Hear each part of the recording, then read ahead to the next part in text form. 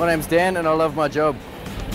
I found out about air conditioning and refrigeration when I was at school. One of my mate's dads was an air conditioning mechanic doing domestic work and he seemed pretty well off so I thought I'd give it a go.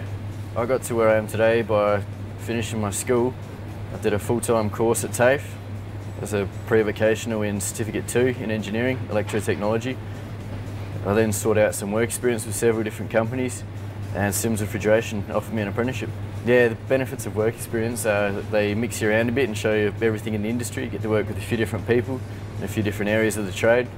Get a taste for it before you dive in. There's a lot of perks that come with the job. Get a work van, work phone, paid for uniform, paid holidays, paid sick leave. We undergo constant training to update our skills, keep up with the industry because it's ever changing. I uh, work on fridges like the ones behind me, low temp freezers,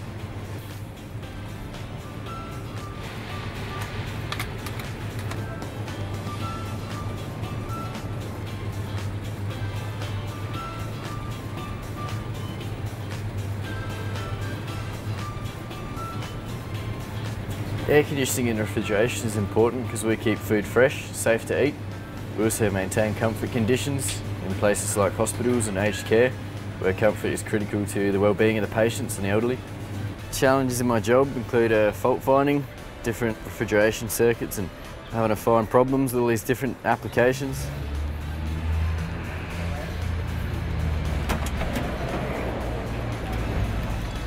This is one of the multimeters we use. Yeah, it's pretty good.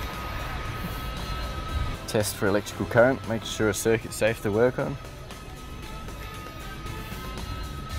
Over here we can test for amps, ohms of resistance, voltage AC, voltage DC, test resistance, make it beeping.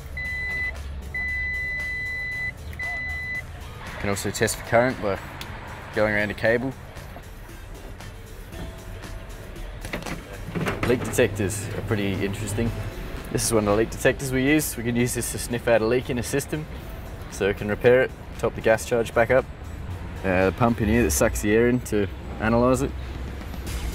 Get in tight spaces with a little twisty neck.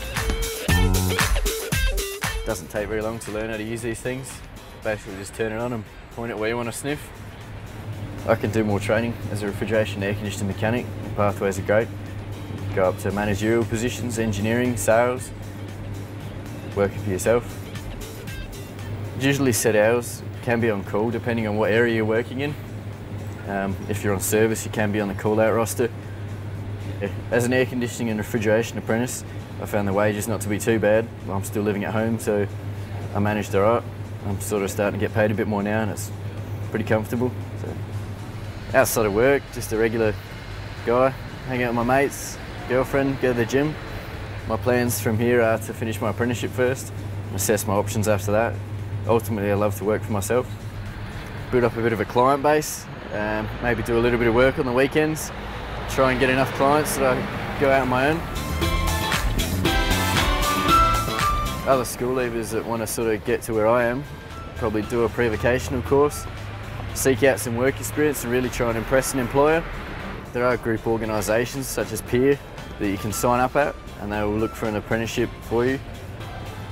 My dream job, I would love to work on a cruise liner, looking after the refrigeration and air conditioning plant. At the end of the day, you can go home knowing you've done a hard day's work, feelings of satisfaction and accomplishment,